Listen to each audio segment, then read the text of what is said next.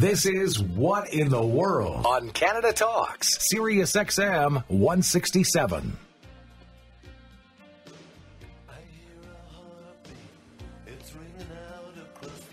It's our uh, first night with a knight, I guess, today on What in the World. There's been a lot of uh, impressive names, Nobel Prize winners, names like Einstein, Planck, Schrodinger.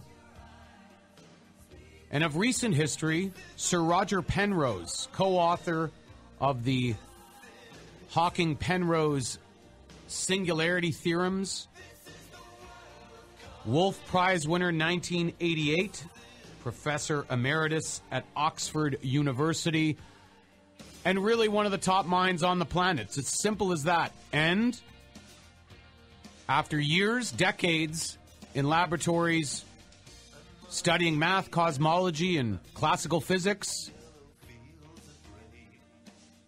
he now thinks they might have gotten it wrong. And that we're still yet to discover the meaning of life, and more importantly, the building blocks of life and how we got here and where we're going. Sir Roger Penrose tonight on What in the World.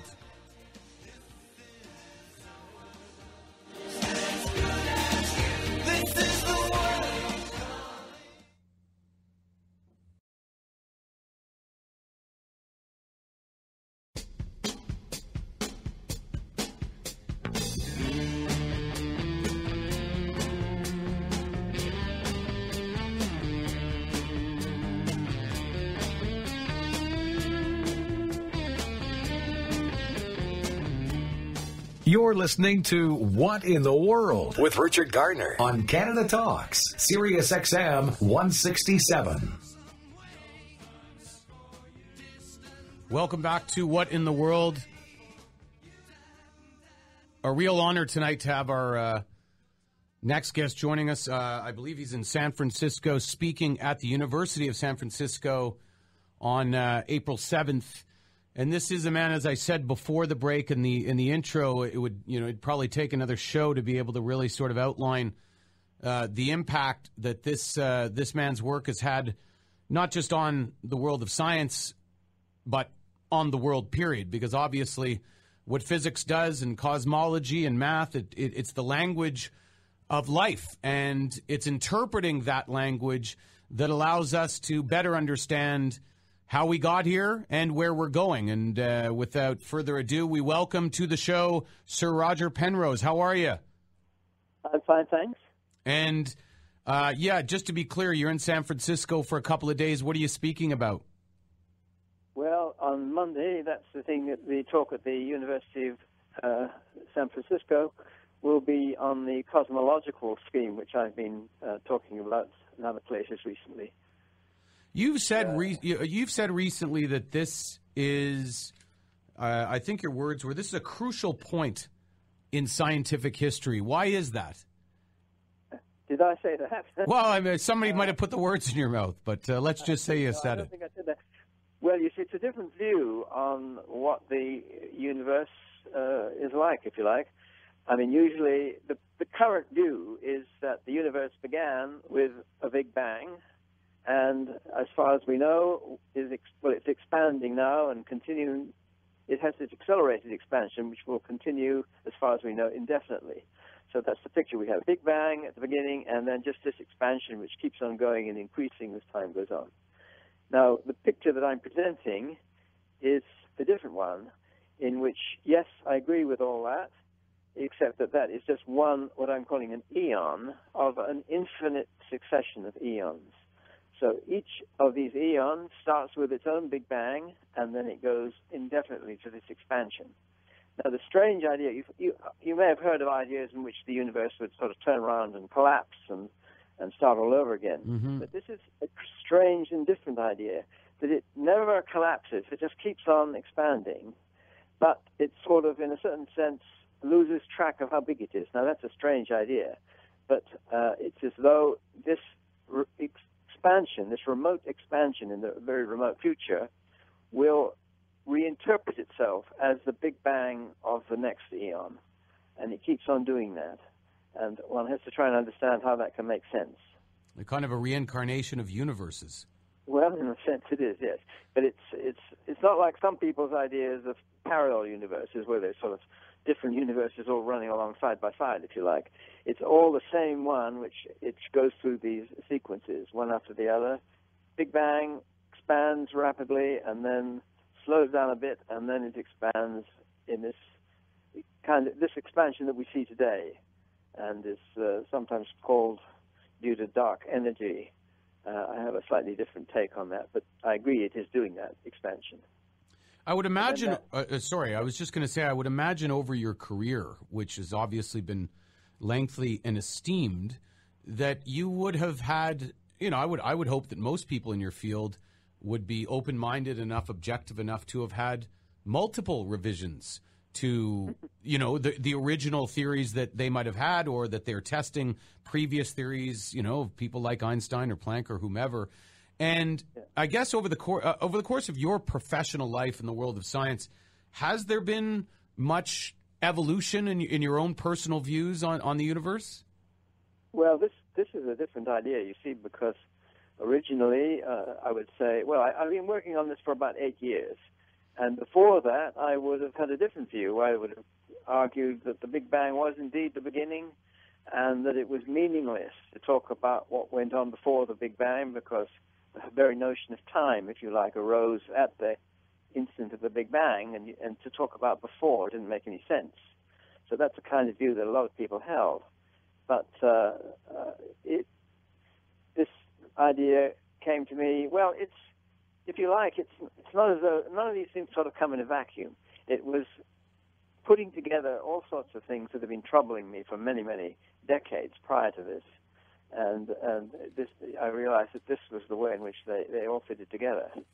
But it's certainly a change from things which I'd done previously. So there's a big revolution in my own thinking, if you like. Yeah, and, and what is it about string theory and that idea of, of multiple universes that do, doesn't doesn't jive with you, that doesn't necessarily stick? Well, it's not just string theory. There are a lot of ideas where people, um, you see, it's partly if you have a theory which I mean, originally, string theory, one of the great things about it was supposed to be that it was unique. I mean, and this idea forced you into one picture of the world. But then what they found is no, no. I mean, it's unique in certain respects, but then suddenly you find that there are all sorts of different versions of this theory, millions and well, a million is putting it mildly, an enormous number of different versions of the theory, and and there's no way of saying which one could be right. And then people resort to what's called the anthropic argument. That is to say, well, they say most of these different possible universes, the way that the laws fit together would not allow life, you see. And so they say, well, life is the one in which uh, the, these numbers had the right values and so on.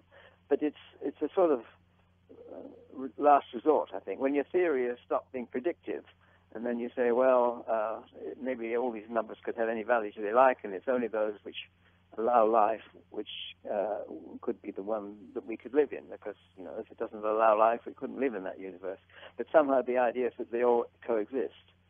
But this scheme is very different from that. It's it's saying that uh, if you like, the laws that we have today are the same as they were in the previous eon, and the ones that, if you like, worked and propagated are the ones that we have.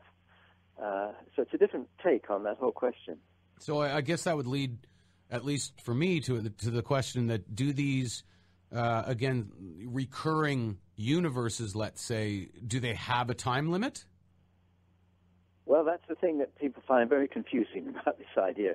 You see, what I'm really saying is that they continue indefinitely to infinity. Now, you might say, how do you have another universe if you have to wait till infinity before the previous one stops? But the thing is that that's whether you call it infinity or not depends on how you measure time, and you've got to have clocks. See, if you don't have any clocks, there's no way of telling how the time passes. And the idea is you need, in order to make clocks, you have to have mass.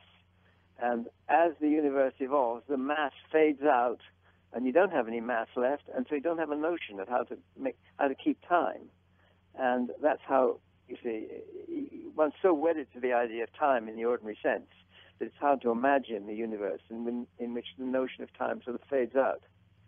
And but as far as the inhabitants of our universe in the very remote future are concerned, and those will be basically photons. So if you've got nothing left but photons, they don't experience the passage of time. If you like, eternity is no big deal. You can mm. say it that way for a photon. Of course, it's a big deal for us, but then we're built in different ways. We have mass, we have clocks going, keep us going, and we, we, we measure time by virtue of having, having a mass, if you like, whereas photons themselves don't have any mass, and so they don't have any way of, of registering how time passes. So you have to be worrying about, uh, you know, say, how long does it take? And, well, that doesn't make any sense when you don't have anything which can measure the notion of time. It's a difficult it, idea to get your mind around. It's funny, you know, because again, uh, you know, we we explained your background off the top for those who didn't uh, know who you were, and, and most people do, especially. Uh, you know, in anything related to science and or the study of the universe, but like a lot of people who have, you know, really nice adjectives that surround their intellectual capacity, like brilliant, let's say, you as a student uh, had a difficult time with math actually at the beginning. Tell us a little bit about that and, t- and, your time. Actually, I think was spent in Canada during those years. That's right. That was in Canada. Yes. Um, well, it, I was always very slow. You see, I think it was. It, it, I had a sort of feeling for the subject, but but I wasn't very good at remembering things about it. You know, remembering your tables. There's just a lot of numbers you've got to remember. So I had to figure out exactly, you know, why things happened and I, it was sort of like having to work it out each time for myself. Not quite like that, but it's it's. Uh, I was slow, and and uh, but I sort of thought about these things. And if you think have to think about these things while you're doing a quick test, you're not going to get very far. And I think that's what I suffered from really. I once got moved down a class. This was when I was about eight years old, I think, because I was too slow at doing mental arithmetic, and the teacher thought I was just stupid, so she put me down lower and uh, I didn't stay too long in the lower class. But well, you're in good company, I guess. We we know about Einstein's struggles in school. We know Michael Jordan was cut from his high school basketball team. So, I mean, you oh, never, really? yeah. yeah, you never know. And and what is that for somebody again that that that lives in the world that you live in? Which, you know, I want to choose my words carefully, but I mean, um, that isn't ex- it isn't accessible, unfortunately, to to most people in the world simply because of you know I don't want to say a lack of intelligence, but really it, uh, the reason I brought up the school example is because the uniformity of our system in education really is only allows for a very very narrow uh, yeah. way to deal with knowledge and information and and growth of mind so that we we really can't create the the types of people that can just sort of generally understand how the world works. You either go into that specialty, you really dive deep into math, and then you find yourself in a very, very small group of people for the rest of your life that seems to be able to understand these things like infinity and and and, and you know the expanse of the universe. And then you're at a cocktail party and it's like, you know, you're looking at blank faces all night because there's such a disconnect. Does that frustrate you at all that there isn't more people, uh, there aren't more people out there that that uh, that sort of gravitate towards this type of stuff uh, and aren't intimidated by it because it is ultimately who we are. Well, I think a lot of these questions are difficult. It's it's not just you know that sure maybe turned off the subject or something. I mean, I think it's important. I'm certainly if you're you're interested in mathematics. I mean, the interest comes about from from your love of the subject, and uh, and so much of things are taught these days by having to learn things off by heart and so on, and you don't really get an understanding of what's going on. You don't see the the reasons and the beauty underlying it all. And I think part of the trouble is the examination system. I don't know what it's like in the States, but certainly in our country, you find that there's so much of the schooling is geared to, to getting good marks in the exams, and this is to the detriment of, of well, breadth of understanding and, well, understanding at all, because this is the important thing that you understand what you're doing and what, what things mean and so on, rather than being able to answer questions in an exam. And there's a sort of conflict there, I think. Yeah, and you get a lot of the regurgitation in the rote system where somebody sort of spits it out after a test and they couldn't answer the same questions in an hour. Um, we're going to talk about another. Exactly. We're, we're going to talk about another subject uh, that's of interest, and I think of more mainstream interest these, these days because of uh, the the time we live in now. That's allowed people to uh, to do more sort of self education, to learn things, to access information in ways they haven't before, and that's quantum physics. And we're going to be back with Sir Roger Penrose after the break. This is What in the World on Sirius XM, channel 167. Their tears are filling up their glasses. No expression, no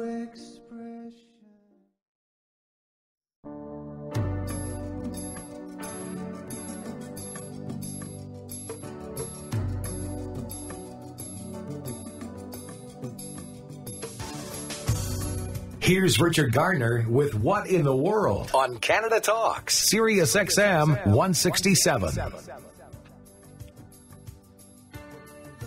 And welcome back to What in the World. We are with Sir Roger Penrose, uh, not only a celebrated and award winning physicist and man of science, but a man who's written many books. We're going to give you some of those titles later in the show. And I strongly recommend uh, if this is the type of subject matter that interests you, uh, Roger Penrose is, is, has been able to distill this in a way that that is is is is commendable because it's very difficult. We're talking about again a very very specialized level of of knowledge and education required to sort of get to the depths of understanding our universe. But it is of interest to many people, and Roger Penrose's many books have have been celebrated because they've been easier to understand, well written, and I think a, a real service because I think the more people that show interest in these areas in terms of understanding who we are and what we are, the better the world is. And that's a segue to, I guess, the first question um, of this second segment, which is in this new sort of information age, this in, you know internet age, where again it has changed a lot of things, but one of the one of the many things that are very uh, different from certainly when I was a kid is that the amount of information can allow somebody to really go out and you know teach themselves. Now obviously you have to be a discerning individual. You can't just believe everything you read but the access to documentaries to to books to white papers to all of these different things that exist out there uh, you know creates the ability for people to go out and sort of understand it. Kind of like you were talking about your early days in school understand it on their own terms maybe and come at it from a different way. And one of the the areas that's gotten I think that's benefited from that is quantum physics. There's obviously been some very mainstream level movies like let's say what the bleep do we know that a lot of people kind of you know looked at and said wow that's that's that's really interesting. I never thought about that. And the layman's definition I guess of quantum physics would be that things behave very differently at the subatomic level than they do at the sort of classical physics level of matter and this has been, you know, it's not just a recent phenomenon. Obviously, Einstein talked about it. You come down a little differently on quantum mechanics, I guess, than most of your peers these days. Talk a little bit about w- what your sort of viewpoint is in terms of its uniqueness to the, the other viewpoints on quantum mechanics. Well, I think the view um, that I hold is that it's not unlike the view that many of the leading quantum theorists had. I mean, Einstein, for instance, uh, certainly didn't think it was the last word.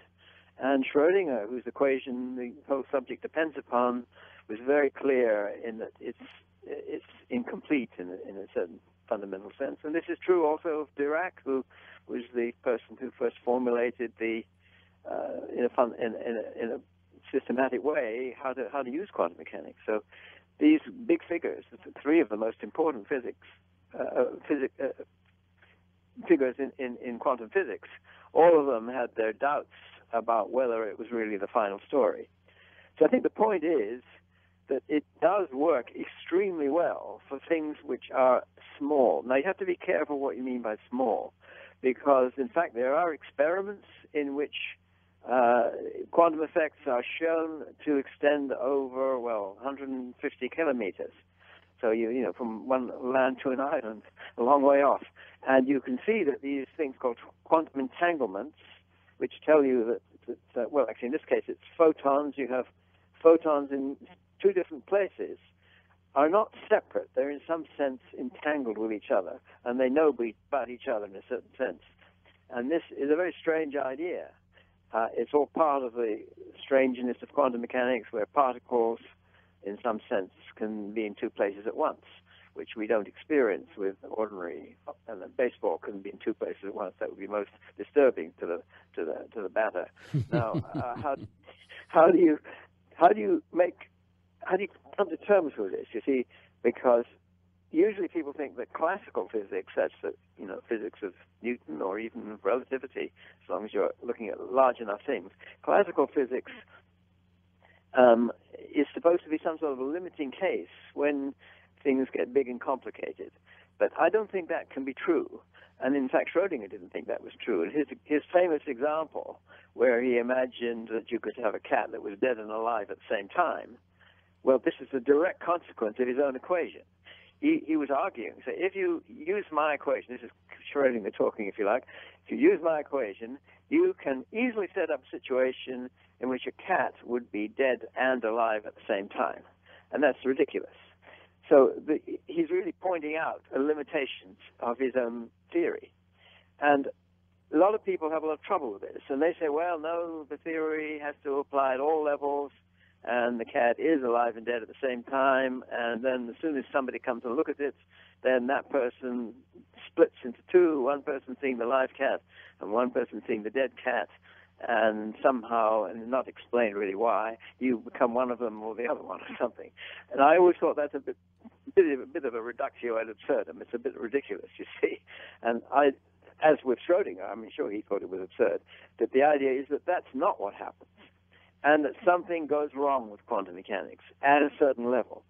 And there are a lot of reasons you can bring to bear on this. Basically, in my view, they come about from a deep conflict between the fundamental principles of the two great theories which arose out of 20th century physics, one being quantum mechanics, in which you have these superpositions of live. Two things can, if one can happen and the other can happen, then they can both happen at once. And that's a sort of funny idea, but that's basic to quantum mechanics. And Einstein's general relativity, which tells you that gravity and an acceleration are equivalent. So if you're in a, in a car and the car suddenly stops, it's just like suddenly there being a force in front of you which pulls you into the windscreen. So these ideas, or if you're dropping, if you fall off the roof, this is a big thing that Einstein said, if you fall off the roof, you don't feel the force of gravity as you're falling. So it's acceleration and gravity are more, more or less the same thing. And this was the basis of Einstein's theory. And Einstein's theory is, on a large scale, extraordinarily well tested. So we have these two theories, both magnificently well tested, and they have foundational principles which are in conflict with each other. And that's the thing which I find most striking, that you can see that Einstein's principle of what's, what's called the principle of equivalence, that gravitation and accelerations are equivalent, and the superposition principle of quantum mechanics, which is what's the basis of the live and dead cat being superposed. The live cat and the dead cat somehow uh, can can coexist. Well, there is a conflict between those principles. So it's when these two things start to come together, there is going to be a change. Usually, what people think is that it's the big theory, the Einstein general relativity, has to be changed because they're trying to think maybe most things you know, big things are made out of little things, so the laws which govern little things, if you like, have to extend to the big things. Whereas, in my view, there's got to be give on both sides. Okay, it's true that the general relativity probably will be changed by quantum mechanics in some way. Nobody's been able to do it in, in a satisfying way. But on the other hand, the rules of quantum mechanics will also have to give. And that's what people don't normally agree to. So this is where I'm a little bit out on a limb. And I say, well, there will be experiments in which you can see that there is a slight deviation with quantum mechanics. It's more or less you have to put something into. It's a bit like a Schrodinger's cat, but it wouldn't be as big as a cat. You you put two little things. They might be just so small you can't quite see them. And there are experiments at the moment which are are trying to do this kind of thing, where you put a little tiny, actually a little mirror is what they do, which is so small you can't quite see it. But you put it into a superposition of two different locations, which differ from each other by not very much, just about the diameter of an atomic nucleus. And then what happens? Do they stay in that superposition, or does it by itself become one or the other? And so my argument is yes, they will become one or the other according to an extension of our understanding of quantum mechanics. And that this is something that, well, there are people trying to do these experiments and have been working on it for about 10 years. And um, I'm told that within the next 10 years, they hope that they will have a clear answer to this question. And and, and isn't that the isn't that the sort of the core issue though is that we seem to have arrived at a time and I don't know about you but I mean from my perspective I can't think of a a time where there was such a you know such a, a huge contradiction between again two levels of understanding that are so fundamental that that are so right, Right. in their sphere that obviously though when because you touched on it earlier the the problem becomes we can't have two separate theories or maybe we can because the problem is that the big let's say me or an atom or you know this table in front of me or whatever where the newtonian physics works the classical physics works um, but the, the problem is, the riddle is that it's made up of all the things at the quantum level, at the subatomic level, where there's an entirely different set of rules, where up can be down, black can be white, uh, you know, two things can be uh, uh, in different places at the same time. And it's just beyond sci fi. It's like an entire, and I've heard it called a field of potentiality, and I've, I've heard other people even call it the unified field. What do you make of that? Yeah, well, I think you're pointing out exactly that, that it's, it's this conflict, which to me says they can't both be right. In fact, it's, it tells me that quantum, I mean, people usually accept that the big things, uh, as you say, the big things are made of small things. So people accept that maybe um the big things have to obey the rules of the small things. But the thing is, what I'm trying to say, and a few people like me are saying that the rules that we use for the small things aren't right either. But you don't see the differences until you get something big enough. So when you're walk, working with just uh, atoms, molecules, and so on, you won't see the difference. The rules of quantum mechanics work fine. And I'm agreeing that, that up to quite a big level, you will still see no deviation from standard quantum mechanics. But when they get to a big scale, when I say big, I'm not talking about big in an ordinary sense, because I'm talking about things which are, you know, about a tenth of the thickness of a human hair or something like that. Mm-hmm. So you're looking at tiny little things from our point of view, but large things from the point of view of quantum mechanics. I mean, they, they'd be considered to be huge, you see. A, a human hair is enormous from the point of view of quantum mechanics. But from the point of view of the sort of thing I'm saying, that you have things which are maybe, as I say, a tenth of the thickness of a human hair, and that the rules of quantum mechanics are now starting not to be quite true. But it's not exactly just the size, it's a question of how long. See, It's like you're saying, you- if you had a cat that was that big, it could be in two places at once, but it wouldn't stay that very long. After a, a few seconds or minutes, it would become one or the other.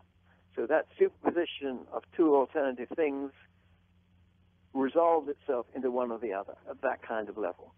And, and it's a mixture of time scales and, and how much mass you're displacing. But there's a formula which tells you exactly what sort of scale you expect to see these differences coming in. So I think that it's it's something that will be tested by experiment. Uh, and I agree with you. It is something unusual that we have two such good theories, each of which, in its sphere of applica- applicability, works fantastically well to an extraordinary degree of accuracy, and yet they are inconsistent with each other. So it's telling you that somewhere in the middle, there's got to be a new scheme which unites the two, but which doesn't obey the rules of either exactly. So that's what's different between what I'm saying and when people talk about quantum gravity. They're really saying, don't change quantum mechanics, make gravity fit in with quantum mechanics. I'm saying, no, it's not going to be like that. It's going to be, yes, you're going to have to change gravity a bit, but you also have to change quantum mechanics. So it's a sort of more even-handed marriage between the two, in which there's give give on both sides. So that's what I'm saying. Sounds like the title of your uh, your book, uh, "The Large, the Small, and the Human Mind." If you were to recommend one of the many books you've written that gets into this specific area uh, more comprehensively, wh- which one would you recommend?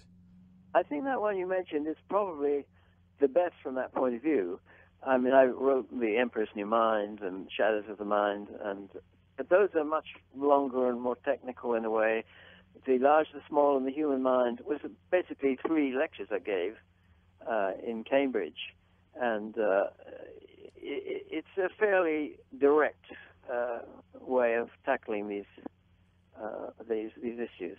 But it brings in the other question, which uh, is the human mind. You see, um, we've been talking about the large and the small, uh, and there's a curious thing. You see, what people often say when they want to try and explain why Schrodinger's cat isn't alive and dead, they say somebody comes to look at it, and the and the action of looking at it or perceiving it somehow makes one or the other happen. Well, I'm not saying that at all.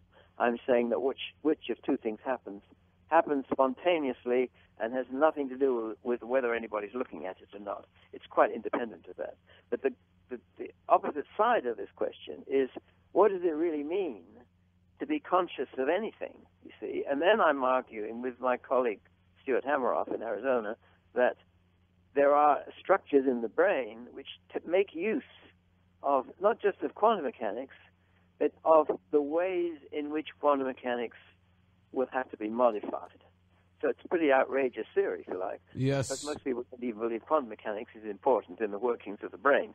So you have to believe first that quantum mechanics is important in the workings of the brain, and it's not like just a computer. There's something else going on.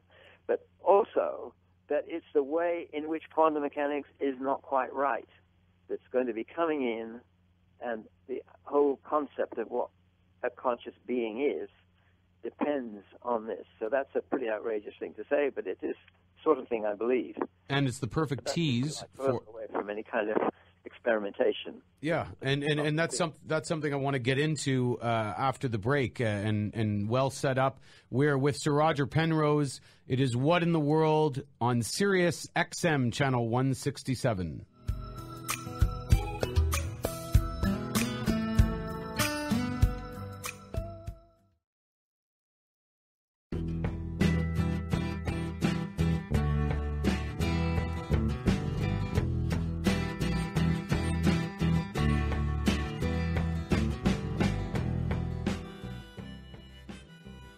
Welcome back to What in the World with Richard Garner on Canada Talks, Sirius XM 167. Welcome back to a mind blowing conversation with Sir Roger Penrose. Never enough time to really delve in contextually as much as we'd like when we're talking, oh, I don't know, about how the universe was created and everything else in between. But we'll we'll do what we can with a couple more segments to go. And you touched on before the break, uh, Roger, about the human brain. We had Michio Kaku on a couple of weeks ago uh, promoting his new book, The Future of the Mind, and and the things that are going on these days in terms of where we were even 10 or 15 years ago. And again, often this is just simply about measurement, right? We come up with new technology, the MRIs are better. We're starting to delve deeper and deeper into that universe that I think a lot of people anticipate will yield some you know some mind-boggling results over the next couple of decades. There's a movie coming out, I think, in a couple of weeks called Transcendence with Johnny Depp that really delves into this, obviously from a Hollywood uh, perspective, but the the limitlessness, let's say, of of, uh, of of the human mind is one that we're really getting into. And again, mind versus brain. A lot of people uh, differ on what exactly that is. It brings in to the conversation the subject of consciousness, which you touch on as well. But before we get we go down that rabbit hole, from the sort of mechanistic viewpoint of the machine that is the computer that some people see the brain as, or as something else, where do you fall in that debate? I don't think consciousness can be understood in terms of computation. So that's one of the main planks of the well, the book *The Emperor's New Mind*, where I first publicly sort of promoted the ideas I have on this. And just just And, quickly uh, before, how was that a difficult decision for you in terms of you know I don't want to you know overstate the, the the courage, but you know in your world that that was going to be something that was going to be received either with you know uh, a little bit of skepticism or absolute ridicule or or somewhere in the in between and you you decided that this was you know obviously what you wanted to sort of go public with was that a difficult decision Um, well, I guess it was. Uh, I'll tell you how it came about more, if you like. sure Um, I mean, I think quite early in life, well, when I was young, and perhaps as, when I was an undergraduate, say, uh, doing mathematics as, as my undergraduate degree, I would pretty well have been a computationalist, that is to say, thinking that the brain was purely acted according to computation. But then I sort of learned a bit about Gödel's theorem. This is about how um, you, if you have a definite way of proving things, then you have a, you find that there are certain statements which you can't prove using this method, whatever that method might be. And I found this very strange. And then I went to Cambridge, and I was doing pure mathematics actually when I started. I not even physics. And uh, I went to all sorts of courses. Um, one by Bondi on cosmology, which was a fantastic course, and one by Dirac, in fact, on quantum mechanics, which was amazing. And another course I went to, which was on mathematical logic, and it, I learned about computing machines, like Turing machines, and about Gödel's theorem and all that. And then I, I sort of my view kind of shifted there, realizing that there are things that you cannot do simply by calculation or by computation, and yet we can seem to, we seem to be able to do it with our brains. We seem somehow, by use of our understanding, we are able to transcend the mere computation. So there is something in what you do. I just say mathematics. You're trying to prove things. You're trying to see whether something about numbers is true or not, and what methods do we use. And what you can show is that whatever these methods we use, they are not limited by computation. Whatever computational procedure you use, you can always see how to how to do better than it. And this made a big impression on me.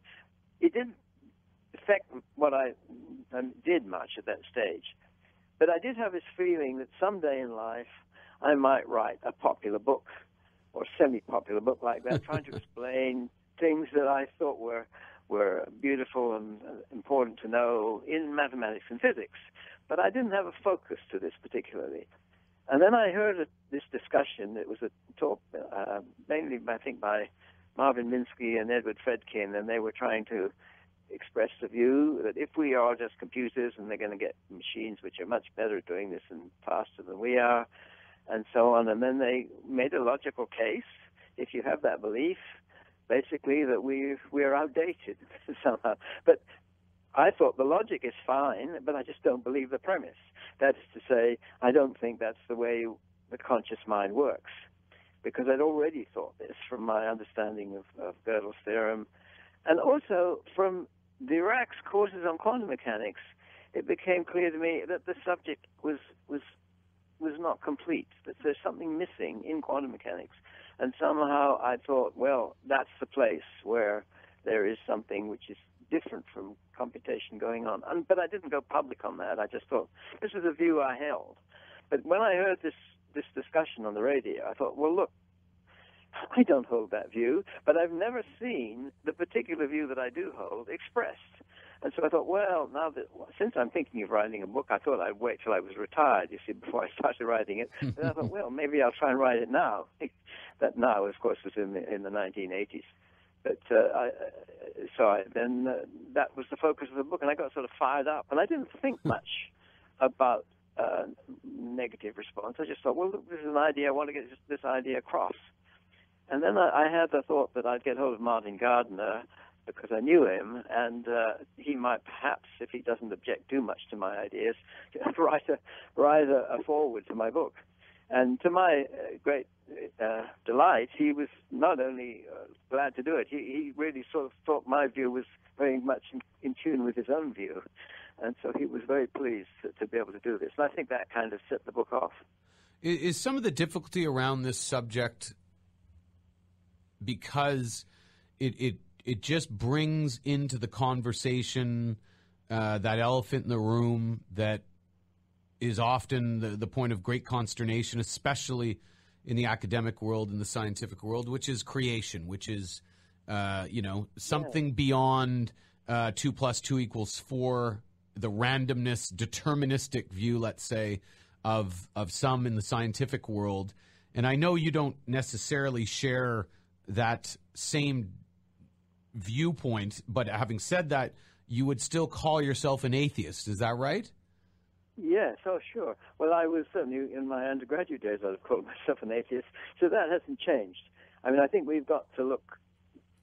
I mean, you know, not just take some book which was written thousands of years ago and say that's that's telling us the truth. But but just I quickly think, there, because that to me yeah. is the fundamental point of because I, I end up in this conversation quite often. I've, I, I recently mediated a conversation at the University of Toronto, not a conversation, a debate between uh, yeah. Dan Barker, who's kind of you know he's in the same sort of uh, you know group as uh, as Dawkins and, and, and, all of those guys, and it was a, it was a debate between uh, you know this hardcore atheistic um, viewpoint and a, it was a Hindu spiritualist. But where I saw that whole conversation devolve, and I and, and, and it's not talked about enough, in my opinion, is that the the the stigma the stigma of religion has so infected the idea of, let's say, spirituality or let's say anything else creationistic that we can't even get the conversation started because there's such a legacy of and and and rightly so. Obviously there was many you know th- there was you know centuries of of uh, of closed-mindedness and worse that was perpetrated by these religious institutions. But I, I I'm surprised that we haven't been able to find some sort of middle ground where we can yeah. we can still talk about it, but it doesn't mean a guy with a beard on a cloud. Yeah, right. Yeah, well, I guess that's right. Um, I mean, I would normally say, you know, what's my religious belief? So I say, well, I don't hold to any of the established religions. I mean, it doesn't doesn't mean that I don't think there are mysteries out there which we can't explain. I mean, I think, I mean, I do believe that there are mysteries out there which we cannot explain with current physical theories. But I suppose I would take the view that yes, we can explore these mysteries, and if we broaden our idea about what science is, then we can maybe make some progress in coming to terms with, with what these mysteries are. So, uh, yeah, there are there are deep mysteries which science I think some people say, well, the universe is just out there and we're a sort of accident somehow. I don't take that view. I think there is something much deeper about the presence of conscious beings, not necessarily human beings, whatever they might be. Conscious beings have a, have a crucial role in, in the universe as a whole, in some sense. Or the notion of consciousness, if you like, has a crucial role. And it's deep in, in what we mean by universe and what the laws of physics are and so on but we, only have a glimmering of any of this. It's something which is way beyond what we understand in our present science. But I don't think it's religion in the sense that the word is used normally, where people take the view that, okay, there is some ancient dogma which has been handed down, and if you believe it was originally handed down by God or something, well, then I suppose you think this view must must have this deep, deep truth in it. But I don't find any religion I've ever seen have have any any conviction about it, as far as I'm concerned. You, you mentioned uh, a deeper meaning to the universe. Do you believe there's purpose? Well, that's an interesting question. It's what what the word purpose means, I suppose, and I I think that's it's certainly not a purpose in the sense that with human beings, you know, they say, well, I have a have a desire or a, a purpose in life to do such and such, and I don't see it as that kind of a purpose. But on the other hand, there is a function for consciousness, if you like, within the universe, which is, in my view, something quite crucial to the existence of the universe. It's, in some sense, it's obvious because you could say, well, the universe which didn't have any conscious beings in it might as well not be there. So there's something important about the potential to have a conscious have conscious beings in the universe, which is crucial to its very existence. But exactly what that means, and, and uh, is it just these this little corner of the universe where there happen to be conscious beings? I'm, I, I would tend to think that it's a pretty rare phenomenon. I mean, where is, where is the next planet or whatever it happens to be where there are conscious beings? It might be pretty remote from us, but nevertheless, the potential to have that is, in my view, crucial to what the universe is, if you like. And it, it, it's. Yeah. I was just going to say it's so it's so interesting to me because again, even in my in my lifetime of 45 years, you know, I've seen you know a lot of things, uh, a lot of opinions change that were absolute at one point, and, and and then you know ultimately because of evidence or new information change. Yet we we Yeah. stick a flagpole in the new already. Like even though we have nothing but evidence historically that everything we think we know will ultimately probably be revised when we have new measurement and when we have new information. Yet we have this incredible ability, and I don't know if you'd call it bad short term or long term memory or whatever it is, to convince ourselves that in the present, this time, we figured it out. Yeah, no, I think you're right. It, it, it's it's very strong, um, and it's no less strong these days than, than it was. I think there are so many things that uh, that people feel absolutely convinced about, and they feel that modern science tells us that these things are true, and a lot of them I have. Well, I mean, there probably are absolutes out there which will remain true forever, but on the other hand, uh, a lot of them we certainly don't know anything. I mean, we don't know. There's a lot that is extremely important to, in fact, fundamental to to uh, existence, if you like, which we simply don't know. And uh, and the ideas we have are almost certainly wrong at the moment. And that's a perfect, Yeah, uh, perfect segue to our final segment because I want to get to what you believe is quote unquote wrong about physics, but you also believe there's still many important discoveries yet to happen. And I want to know from your standpoint what that will mean and how you sort of see the future, not only of of, uh, of of our species in this planet, but of the universe itself. We're with Sir Roger Penrose. It is What in the World on Sirius XM, channel 167.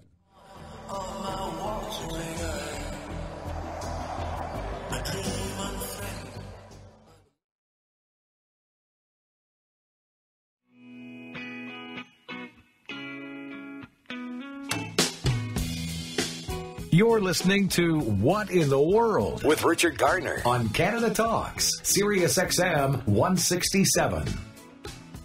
Well, as is wont to happen when you're talking about the origins of the universe, you sometimes go longer than you'd like. So this actually, we, we've left ourselves with only about three and a half minutes left. So I just want to ask you finally, Sir Roger Penrose, who is uh, kind enough to join us for almost a full hour here on What in the World. What is that next big, big discovery that you think is going to change the way, uh, the way we see ourselves, the way we see the universe, and the way we live?